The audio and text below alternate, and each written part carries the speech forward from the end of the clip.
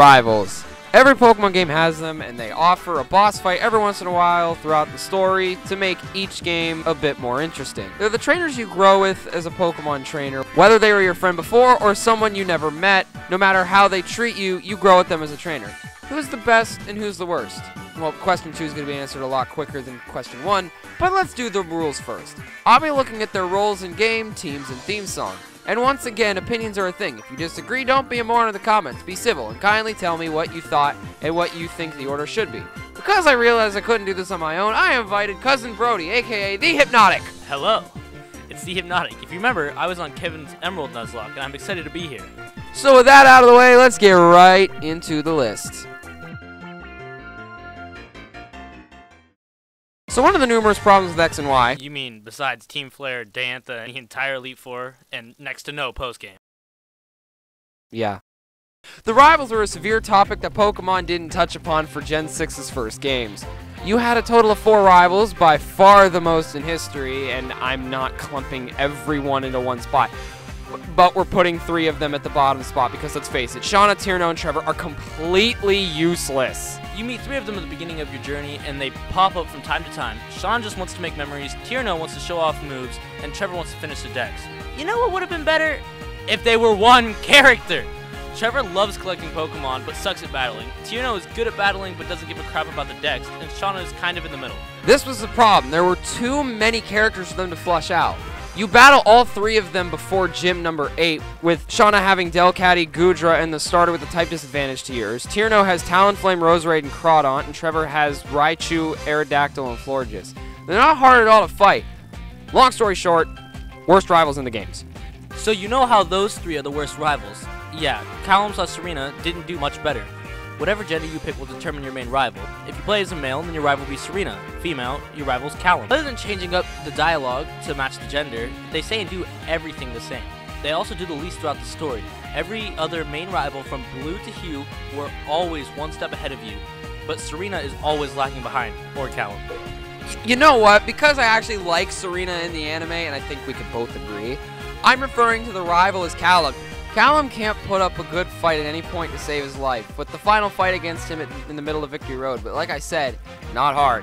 With either male or female Meowstic depending on gender, as well as Altaria, Absol, and one of the three Kanto Eevees and the starter with the type advantage yours, Jolteon Delphox, Flareon Greninja, or Vaporeon Chesnaught. As much as I love Absol, female Meowstic, Vaporeon, all the starters, all of them can be one-shotted. And the theme is the same for the three other friends. And it's good, but it's not fantastic. Game Freak, next time, actually care about the rivals a bit, yeah? So after Blue and Silver laid the law down in Kanto and Johto on how to be rivals, how the 150% actual f were Brendan and May so bad? Seriously, guys, what happened? I'm not the guy that's gonna say rivals need to be what Blue and Silver were, but Game Freak does realize that the rivals were in such high standards after Silver, and then they completely ruined it. May was not a good rival, at all. They were more like someone who gave you useless pointers about all the extra stuff from the game. Yeah, I don't care about that. Just shut up and fight me.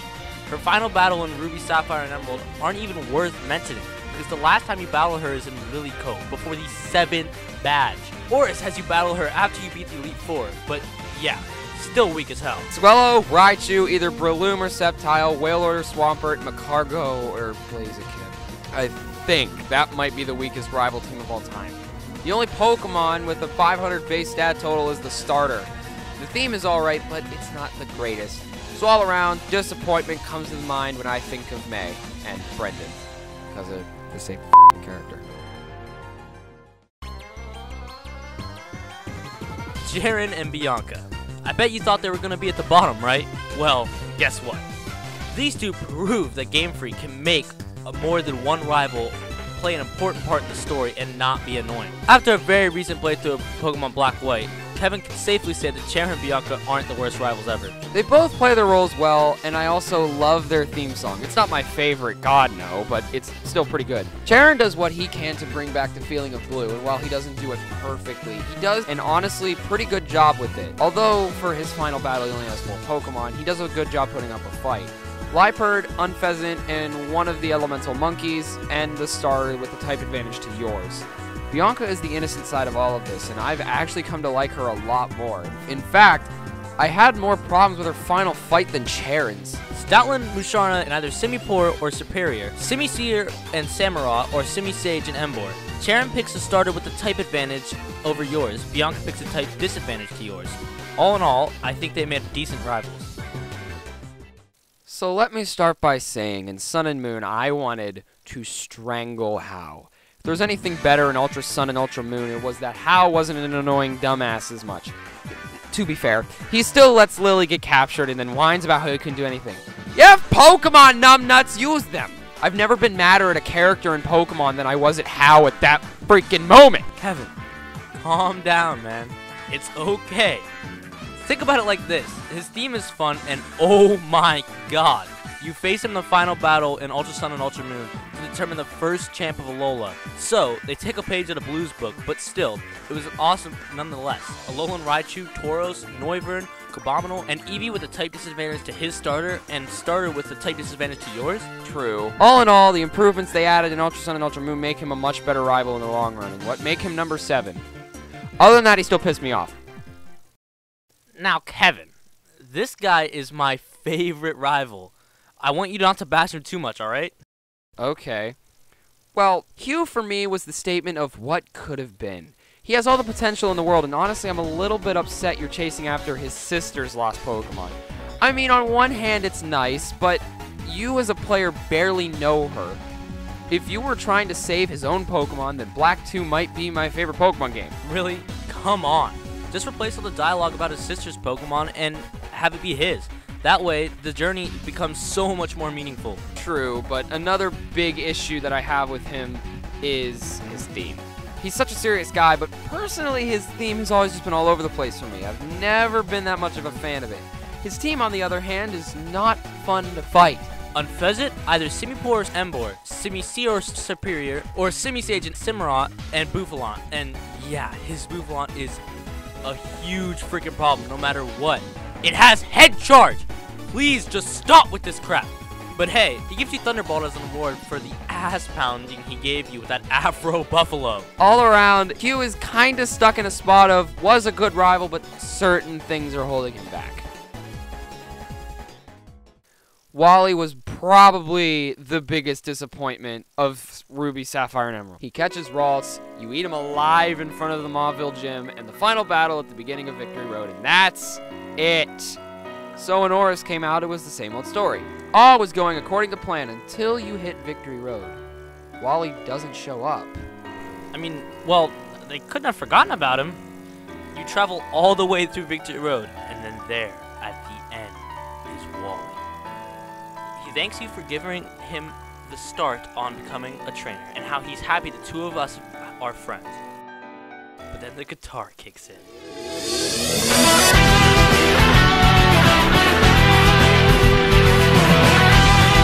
Are you freaking kidding me? Easily the second best, if not the best rival theme in the entire franchise. Well, his team is nothing super special. He uses an Altaria, a Delcatty, a Roselia, and a Magneton. But he's got a Gallade. A Mega Gallade. In Ruby, Sapphire, and Emerald, he has a Gardevoir. Not an Norris! In Ruby, Sapphire, and Emerald, he just shows at the beginning of Victory Road. But here, he made it through one of the most annoying and difficult victory roads of all time, just so he could meet you there. It adds so much more to him instead of getting his ass kicked back out of Victory Road, and for that, Wally is number five. Here he is, folks, the be all and end all for rivals. What every rival must try to be. And so far, in our eyes at least, only three have been better. But seriously, Blue was an amazing rival. He was such an ass. Even when you beat him, he'd tell you how much better he was before screaming, Smell you later! He was what the rival was in Gen 1, and every time I replay Fire Red and Leaf Green, I can't help but acknowledge how good of a rival Blue is. His theme is just a trainer theme, which kind of sucks, but everything changes once you hit the Elite Four. Just before Victory Road, you battle Blue one last time before he tells you he's going to beat the Elite Four. Once you go through Victory Road, beat the Elite Four. Lance tells you that you would be champion if it weren't for Blue. While Kevin did say that Blue wasn't the greatest champ, a great rival he was. Pidgeot, Rhydon, Alakazam, Exeggutor, or Venusaur, Gyarados or Blastoise, and Arcanine or Charizard, there is no denying how good Blue is as a rival. Not many know this, but another fact about Blue that makes him more awesome is if you rematch the Elite Four in Fire Red and Leaf Green, he no longer has Pidgeot or Rhydon. Now he's got Heracross and Tyranitar. Good God. But as we said, only three have surpassed him over the years. Immediately after Game Freak made Blue as good as they made him, they looked at each other and said, We need to make someone better. They to up Blue with the most badass rival for 15 years. Silver is every bit of asshole Blue was, except he's not a douche. Instead, he is grade A dick in every sense of the word. He steals the Pokemon from Professor Elm's lad and is just a genuine ass throughout the journey, constantly talking about how he hates the weak and anyone who talks about loving Pokemon in any capacity. Did I say grade A dick yet? His theme song is also really good, and his team is freaking terrifying. The final battle with him right at the end of Victory Road is great, but after you beat the Elite Four, he will challenge you before you go in, and most of his team is fully evolved. Also, the one line of dialogue he says is, My well trained, beyond recognition Pokemon are going to pound you. Now his team are Gengar, Alakazam, Magneton, Sneasel, Crobat, and either Meganium, Feraligatr, or Typhlosion. Honestly, there are no problems with them. The top two are just a little better in my opinion. Still, Silver's a badass. Hey Sega! Take note on how to make a better Silver! The Silver came, and now we're fighting, and now we're fighting Silver. Don't forget, he's not beatable. It's no use. It's no f- use! So remember when we said Game Freak needed to actually try to make rivals after Gen 6? They listened. Well, Hau is alright, but then there's Gladion.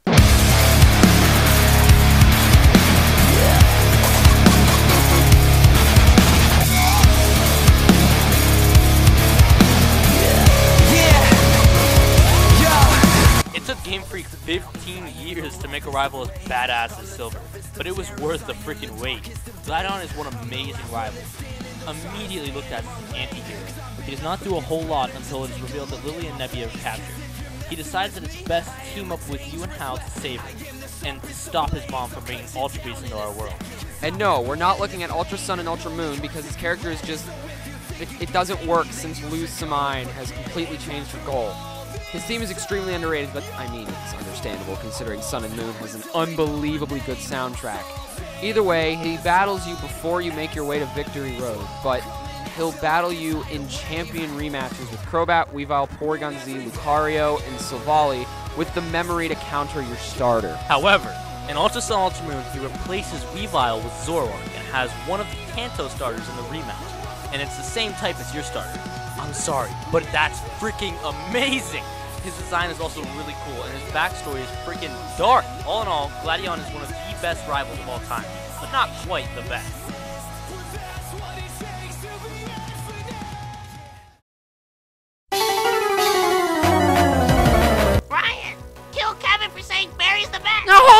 On! There are plenty of reasons as to why I chose Barry as number one. He's almost a cross between Blue and May, and while that doesn't sound like the greatest thing, just listen. He's your rival, wants to be the champion at all costs, and will beat you down. He's also one step ahead at all times, but to me, he was never an annoying, pretentious. His theme is freaking amazing, and it fits his character better than any other theme song for character in Pokemon. It's so frantic and awesome, exactly like Barry. Also, the guy made me laugh on a lot of occasions, and my god, he built a tough team. Seriously, Heracross, Staraptor, Snorlax, Roserade or Torterra, Floatzel and Empoleon, and Rapidash are Infernape. And trust me, he knows how to use all of them. Staraptor has U-turn, by the way.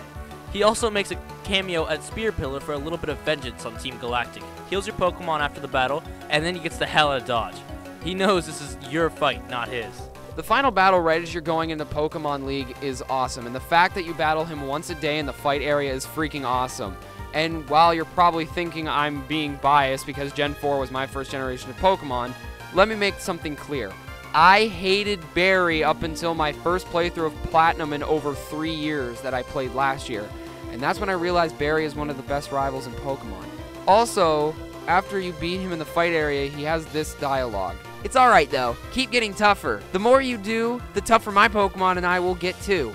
There's no end to Pokemon. That's what I'm saying.